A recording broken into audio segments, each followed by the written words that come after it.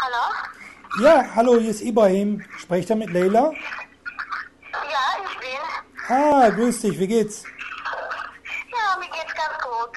Ganz gut. Ja, Ja. du hattest uns ja geschrieben, dass wir dich mal anrufen sollten. Ja, das, ja, ich, weil ich wollte, weil ich habe mich viel überlegt, ja, und dann möchte ich endlich diese Shahada aussprechen. Ja. Und nächste Woche, ich fahre auch nach Deutschland und dann, ja, das wäre besser auch. Ja. Ah, das heißt, Ja. das heißt, du hast dich schon längere Zeit mit dem Islam beschäftigt? Ja, also ganz, also äh, das ist bei mir, also ich bin katholisch großgezogen. Meine Familie war ganz äh, sehr katholisch, aber seit einem Jahr, ich habe mich Gedanken gemacht, bisschen so über diese Religion. Mhm. Ja, und ich weiß, das ist nicht das die richtige.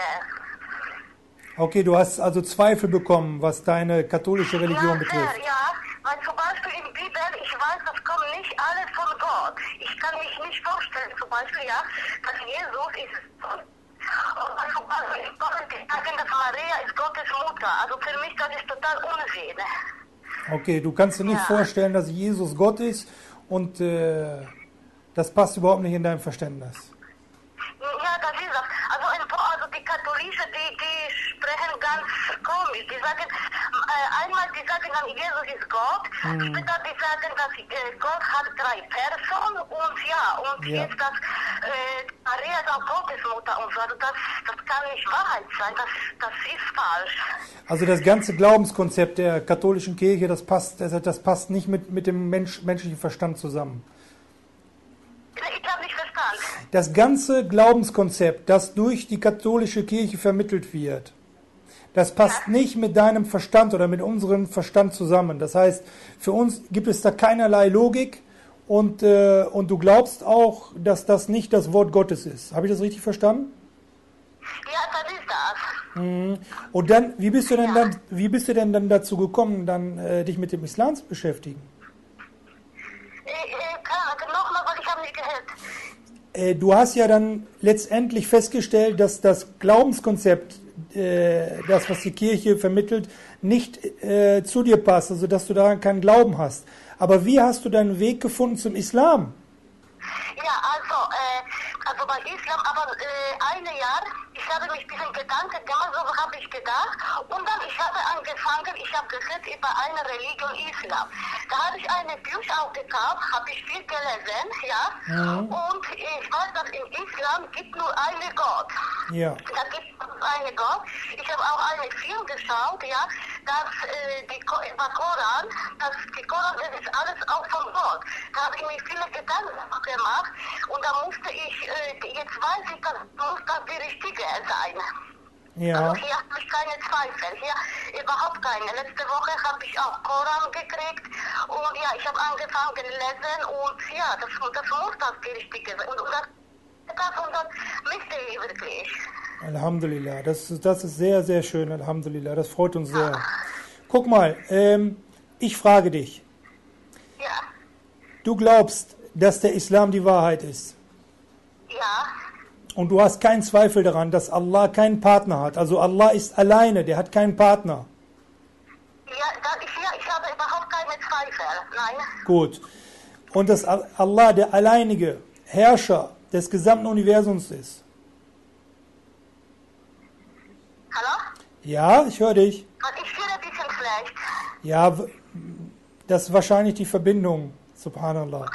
Ja, kein Problem. Aber du hast keinen Zweifel, dass Allah der Allmächtige ist, der über alles die Macht hat. Der keinen Partner hat. ich habe wirklich keine Zweifel. Gut. Also ich glaube das alles, ich weiß, das ist das richtig. Ich weiß, das ist das die Wahrheit. Der Koran ist die Wahrheit. Ja, das die Koran ist die Wahrheit, ja. Das ist das, das, ist das Wort Gottes. Und der, und der Prophet Mohammed ist sein Diener und sein Gesandter. Das ist der letzte aller Propheten. Danach kommt keiner mehr. ja, das, mhm. das glaube ich alles. Dass die Mohammed ist letzte, Gesandter von Gott, ja. Gut, dann äh, pass auf. Dann sprechen wir jetzt das Glaubensbekenntnis, dann hast du es hinter dir. Ja, okay. Dann spreche ich das vor, du sprichst nach.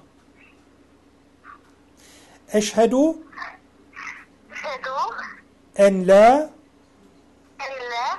Elle, ilaha Ilaha, illallah Il Allah. wa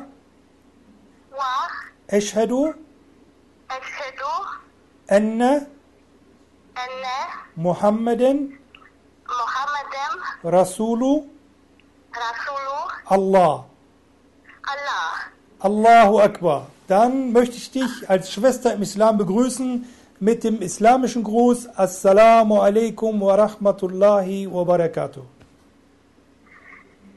Herzlich willkommen. Ja, ich freue mich sehr. Ja, wir Ja, freuen ich fühle, fühle mich auch ganz, ganz schön jetzt. Äh, Einfach wie Neugeborene, muss ich sagen. Was, was, was, was spürst du? Erklär, erklär mir das genau. Bitte? Was fühlst du genau? Erklär es mir. Ja, also ich fühle mich einfach wie, wie andere Menschen jetzt. jetzt. Ich weiß, dass ich kann ein neues Leben anfangen, einfach ohne Sünde, äh, nicht sündig mehr. Einfach, ja, ich fühle mich einfach sehr gut jetzt. Also anders wie früher. Alhamdulillah. Das ist ein, Ja. das ist ein sehr, sehr schönes Zeichen. Guck mal. Jetzt, Ja. jetzt bist du meine Schwester. Ja? Ja. Und schau mal. Leila, ne? Heißt du. Ja, Leila heiße ich. Leila, guck mal. Ähm, was ich dir empfehle, ist jetzt unbedingt äh, Ja. Bei nächster Möglichkeit gehst du einfach mal duschen, ja, Ja. und dann reinigst du dich von deinen Sünden, okay? Mhm, Ich mache gleich, ja. Inshallah. Und dann solltest du natürlich dich ähm, jetzt auch intensiv mit der Religion, mit dem Islam auseinandersetzen und das Gebet lernen. Das ist sehr wichtig. Ja, da werde ich langsam lernen. Ich habe schon ein Buch über diese Gebete. Ja, ich habe eine Frage. Ja. Diese Gebete, das muss äh, auf Arabisch sein. Das muss auf Arabisch sein, aber, aber am Anfang kannst du das erstmal so machen, so gut wie du es kannst. Also, Mhm. ja, also am besten ist, kann ich dir nur empfehlen, dass du auch Kontakt suchst zu einer Moschee in deiner Nähe Ja. Und dass du dann, äh, äh, dass du dann auch Schwestern kennenlernst, die werden dir inshallah dann auch helfen. Aber äh, was du wissen sollst, wir sind inshallah für dich immer da. Das heißt, diese Telefonnummer und diese E-Mail-Adresse, unter der du uns kontaktiert hast, ja, okay. kannst du uns immer kontaktieren, wenn du Fragen hast, wenn du Hilfe äh, brauchst oder Probleme hast oder etwas lernen möchtest. Wir wollen dir inshallah helfen. Wir schicken dir auch inshallah eine E-Mail mit äh, einigen wichtigen Informationen. Und wenn du uns eine, eine Adresse schickst, dann schicken wir dir inshallah auch ein paar Bücher zu. Mhm, okay. Dann Ja? ich okay. Und, und äh, wir wollen jetzt demnächst, inshallah, das ist ganz neu, also wir wollen jetzt äh, so, so Art Seminare anbieten, äh, wo neue Muslime, beziehungsweise auch Muslime, die äh, ihre Religion noch nicht so gut kennen, die, die das Gebet kennenlernen möchten, die also lernen möchten, wie man betet, äh, für, diese, für diese Leute möchten wir inshallah bald ein Seminar anbieten. Das geht immer von Freitag, Samstag, Sonntag, damit man lernt, wie man das Gebet verrichtet. Vielleicht kommt das ja für dich in Frage. Ja, das? Äh, wo genau das sein wird, das wissen wir noch nicht, weil wir müssen da noch äh, ein- ein bisschen was organisieren. Aber, aber wir, wir haben ja deine Kontaktdaten. Ich werde auch deine Adresse weitergeben, inshallah, wenn du mir das erlaubst, äh, an, einer, an einer Schwester, die sich dann um dich kümmert. Die wird dich anschreiben und wird für dich zur Verfügung stehen, wenn du Fragen hast oder Hilfe brauchst. Ja, das wäre schön. Ne? Ja, das wäre sehr schön. Super.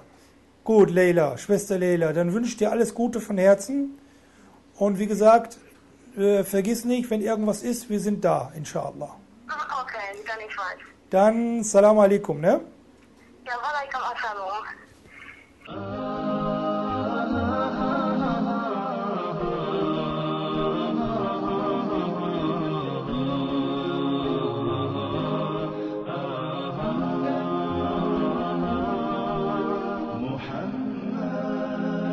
أشرف الأعراب والعجم خير من يمشي على قدمه باسط المعروف جامعة. صاحب الإحسان والكرم.